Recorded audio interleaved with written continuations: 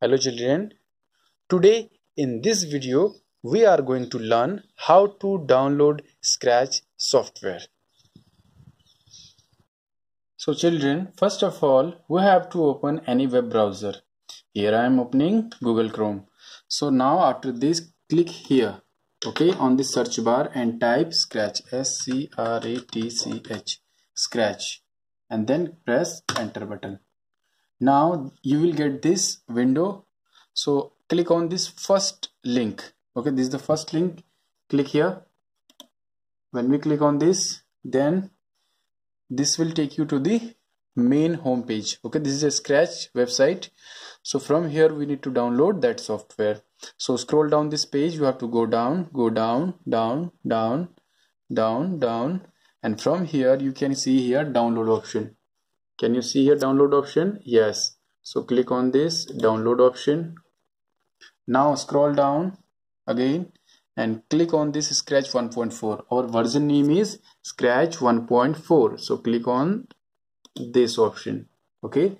Now after this you will get three options. First for mac os second for windows and the third for ubuntu.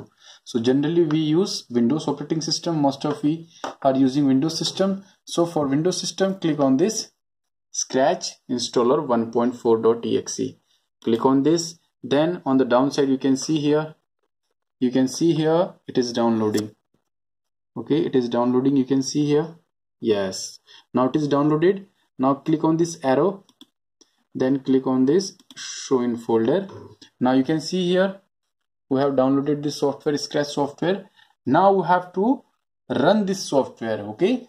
We have downloaded but now we have to install this software. So right click on this software and click on this open option then yes then click on this next button then next then install. Now this software is installing it will take few seconds.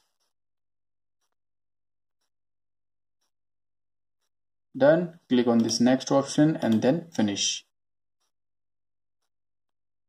Now this is our scratch software. Okay? Yes. So please try to download this software. See you in the next video. Bye bye